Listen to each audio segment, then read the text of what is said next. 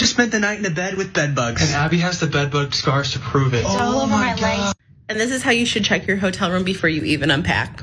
A little about me if you're new. My name's Halee. I've been working in the hotel industry for 15 years. I own a hotel sales support company.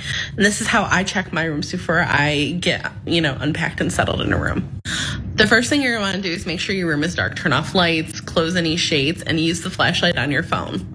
And while everything's off, you're gonna come up here under the covers. This one does have a mattress pad, but you're gonna check under all the creases here on the beds and here. They usually like to hang out in the corners and the creases. Here's a better angle. You're gonna wanna check here, up underneath here, under here. I didn't get that. And also pay attention if there's a mattress pad too. Even if you don't see bugs, make sure you check for spots. It's like blood spots because that's not a good sign either. Hope this helps.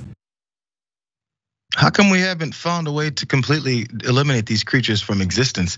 I mean, I read a report that we've eliminated like 90 different species in the past 20 years. Anyways, this little PSA from Halee, and she's in the hospitality business, and she's pointing out how to make sure you don't get caught up with some bed bug issues. She talked about course searching for a certain way. But one more video here, you guys, because uh, another instance of what she's pointing out where you wouldn't expect bed bugs to also be located since you're searching for them, which I will be doing every chance I get any hotel I stay in. Watch more. So you want to know the dirtiest spots in a hotel room?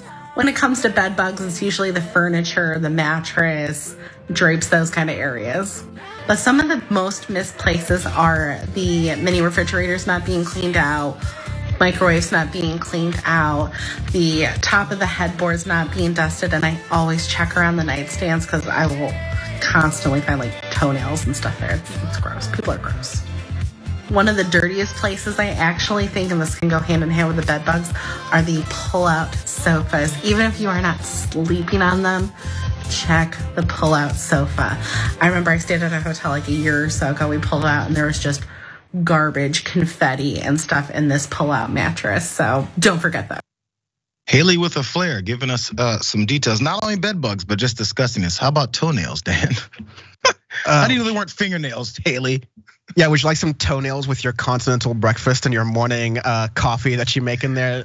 Good God. Yeah, no, I mean, on the one hand, like this is the fact of the hospitality industry where you have workers, especially the hotel cleaning staff, who are just super overworked and underpaid and have to turn around these rooms super quickly. And so they can't get to everything. The people who are staying in those rooms are not cleaning up after themselves because they're staying away, so it's fine. And so what you get are missed corners. I mean, folks who are flight attendants talk about this stuff all the time about how you should wipe down your seats oh, because oh, yeah. they would love to and it's their job. But the reality is they have to turn these planes around so quickly with delays and whatnot, they don't have the time to do as thorough as job they'd like to. So I, I was I thought it was gonna be worse because I've seen people do these videos with like an actual little black light. Yeah. And uh, yeah, definitely the um yeah, it would be bad. I, I catch I catch uh, trouble for being anti-restaurant and nobody really knows this, but I'm generally anti staying at a hotel. I just don't, I, I don't, I don't, I don't like it.